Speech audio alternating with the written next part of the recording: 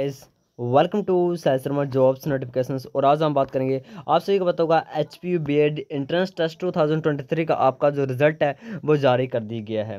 आप यहाँ पे इसको पूरी लिस्ट को आप डाउनलोड कर सकते हैं। लिंक मैंने वीडियो के डिस्क्रिप्शन में डाला हुआ है। आपको टेलीग्राम चैनल ज्वाइन कर लेना टेलीग्राम चैनल में आपको इसको पी मैंने डाला हुआ है। आप वहाँ से आप डाउनलोड कर सकते हैं। हम इस वीडियो में बात करेंगे कि आपके जो कट ऑफ़ है, वो कितनी जा सकती है और आपकी जो हम बोल सकते हैं प्राइवेट सीटें और गवर्नमेंट सीटें कौन कौन से हैं और कौन कौन से आपको कॉलेज मिल सकते हैं। तो देखो, जो मैंने एनालिसिस किया आपके इस रिज़ल्ट से, आपने देखोगा, इस बार एज़ पर प्रीवियस ईयर कम आपकी कट ऑफ़ जाएगी, ठीक है? आप में इस बार क्या है, सीधा जंप है। कई ऐसे बच्चे हैं जैसे जिनका एक सौ एक सौ सत्तर मार्क्स हैं किसी के एक सौ बाईस मार्क्स हैं, किसी के एक सौ दस मार्क्स हैं।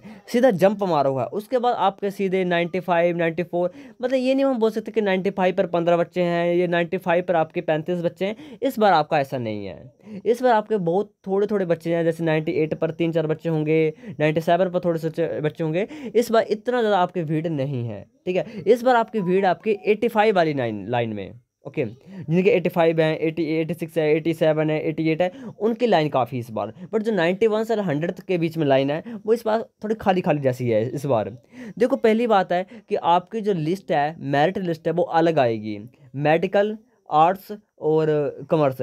आर्ट्स, कॉमर्स के साथ में आएगी, मेडिकल की अलग आएगी और नॉन मेडिकल की अलग आएगी। ये तीन मेरिट लिस्टें आएँगी अभी। जिसमें आपका हाईएस्ट स्कोर लिखा होगा कौन सा बच्चा टॉप किया है मेडिकल में, उसके बाद एक कंबाइंड लिस्ट होती है हर एक सब्जेक्ट की। उसके बाद आपके फाइनल कट ऑफ़ में हम बोल सकते हैं कितनी जा सकती है। अच्छा हम एनालिसिस कर सकते हैं। बट जहाँ तक मुझे इस बार लग रहा है आपकी कट ऑफ़ प्रीवियस ईयर से कम जाने वाली है। मैं बात करूँ धर्मशाला के लिए तो धर्मशाला के आपसे पता होगा टू फिफ्टी सीट्स हैं। और टू फिफ्टी सीट्स काफ़ी होती हैं ओके हम ये नहीं बोल सकते कि बहुत कम है, बहुत ज़्यादा भी नहीं है बट ठीक है। तो दो ढाई सौ सीटें के लिए मैं बोलूँ तो आपके जो स्कोर जा सकता है जनरल कैटेगरी के लिए, वो है नाइन्टी टू हम भैया नाइन्टी के करीब करीब जिनका भी नाइन्टी प्लस मार्क्स हैं, उनका तो hundred and one percent selection हो ही जाएगा। और जिनका भी एट्टी एट है, एट्टी सेवन है, वो भी उम्मीद रख सकते हैं कि उनका सिलेक्शन हो जाएगा धर्मशाला में। ऐसा क्यों बोल रहा हूँ? क्योंकि इस बार कट ऑफ़ आपके कम जाने वाली है। बहुत सारे मैंने देखा है, बहुत सारे बच्चे इस बार एट्टी फाइव वाली लाइन में हैं। तब मैं एट्टी फाइव को काउंट नहीं कर रहा हूँ कि एट्टी फाइव या एट्टी सिक्स वाले का हो सकता है, क्योंकि बहुत सारे बच्चे हैं। एट्टी फाइव पर ही पर ही बहुत ज़्यादा बच्चे हैं। तो मैं बोल रहा हूँ कि जिनका भी एट्टी एट या एट्टी नाइन या नाइन्टी प्लस है, उनका सिलेक्शन आराम से इस बार धर्मशाला में हो जाएगा। अगर मैं बात करूँ एच में एचपी में टोटल हंड्रेड सीटें हैं और हंड्रेड सीटों में लगभग नाइन्टी टू प्लस आपके जनरल कैटेगरी के लिए मार्क्स होने चाहिए। क्योंकि आप सभी को पता होगा, आपकी जो सीट्स हैं, वो भी डिवाइड की गई होती हैं। ये सारी होता कि जनरल के लिए देखो, मैं आपको बताता हूँ, ऐसे आपको समझ जाएगा देखो, होता क्या है सीट सीट्स डिवाइड की हुई हैं। यहाँ पर देखो, ये आपकी, मैं थोड़ा सा आपको दिखाता हूँ। ये देखो, जनरल के लिए नॉन मेडिकल के लिए ओनली पैंतीस ही सीटें हैं। हिमाचल प्रदेश यूनिवर्सिटी शिमला में। धर्मशाला की छोड़ो अब। शिमला की बात कर रहा हूँ मैं। तो शिमला में ओनली हंड्रेड सीटों में से पैंतीस सीटें नॉन मेडिकल में जनरल कैटेगरी की हैं। ओबीसी की ओनली नाइन ही हैं एससी की पंद्रह हैं एसटी की चार हैं जनरल आईआरडीपी की आठ हैं ओबीसी की दो हैं एससी की तीन हैं आईआरडीपी की एक है और एक्स सर्विसमैन की दस सीटें हैं। ये सीटें आपके नॉन मेडिकल के में केस के हैं ओके और ठीक है ठीक है। तो इसमें आप बोल रहा हूँ कि जनरल वालों को नाइन्टी टू अबव होने चाहिए यदि आपको शिमला में एडमिशन लेनी है तो।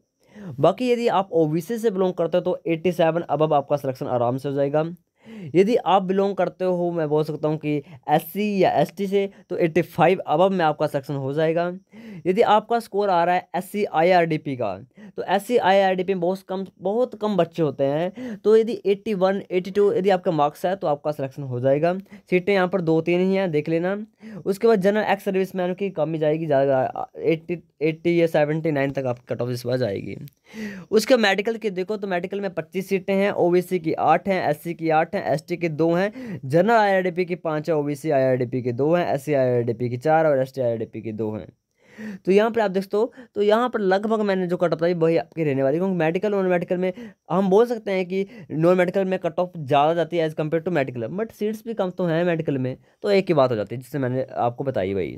उसके बाद जनरल एक्स सर्विस मैन की छः सीटें हैं O B C ex service man की कोई सीट्स नहीं है एस सी और बार्ड्स की कोई सीट्स नहीं है okay S C ex service man और बार्ड्स की दो सीटें हैं, बस O B C ex service man birds की कोई सीट नहीं है। तो ये आपकी होगी सीट्स के बारे में। अब हम बात करते हैं कि कौन से आपके पास गवर्नमेंट कॉलेजेस हैं। यदि आपको गवर्नमेंट सीट में नंबर नहीं पड़ता, देखो दो गवर्नमेंट कॉलेजेस हैं, एक आपका हिमाचल प्रदेश यूनिवर्सिटी शिमला, जहाँ पर आपकी हम बोल सकते हैं कि हंड्रेड सीटें हैं, और दूसरा धर्मशाला ढाई सौ सीटें हैं। कट ऑफ़ मैंने आपको बता दी है। यदि आपको डिटेल जाना है तो मैंने पहले एक वीडियो डाली हुई थी। यदि फिर से मैं आपको कट ऑफ़ बता दूँ तो आपको याद रखना है, यदि आपका स्कोर जनरल कैटेगरी के लिए धर्मशाला में जाना है तो एट्टी एट प्लस मार्क्स होने चाहिए। यदि यदि आपको जनरल कैटेगरी के लिए यूनिवर्सिटी शिमला में जाना है तो 92 प्लस होना चाहिए। बाकी एस सी एस टी के लिए एट्टी फाइव अबाव आपके मार्क्स होने चाहिए। बाकी अपना स्कोर आप शेयर कर सकते हो, मैं आपको कमेंट में रिप्लाई कर दूँगा। बाकी कंप्लीट कंबाइंड मेरिट लिस्ट आने दो, जो हर एक लिस्ट, हर एक कैटेगरी के अलग अलग होगी। अच्छा वहाँ से एनालिसिस हो जाता है। ये आपके प्राइवेट कॉलेजों की लिस्ट है। देख सकते हो, इसमें सीटें कितनी हैं और इसकी कब स्थापना हुई थी सन सन लिखा हुआ है। और यहाँ पर फुल एड्रेस लिखा हुआ है, हर एक डिस्ट्रिक्ट वाइज यहाँ पर ये प्राइवेट लिस्ट है। और जो यहाँ पर सेवेंटी टू यहाँ पर टोटल प्राइवेट हैं, ओके? तो आप इसको पीडीएफ को डाउनलोड कर सकते हो, मैंने डाला हुआ है टेलीग्राम लिंक पर। Thank you.